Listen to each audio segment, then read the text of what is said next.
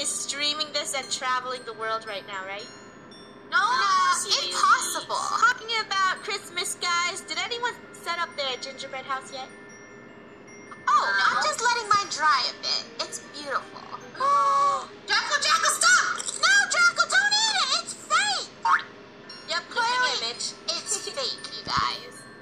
No, guys, Santa's real. I saw him in the Roblox hospital, and he told me if I was a good boy, I would get a dom in his hand. It says here that a Dominus hat is the most rarest item in Roblox history. it costs Wow. like almost 8 million Robux. Are you sure you weren't hallucinating? Yeah. No, Rainbow, I wasn't hallucinating. Santa told me.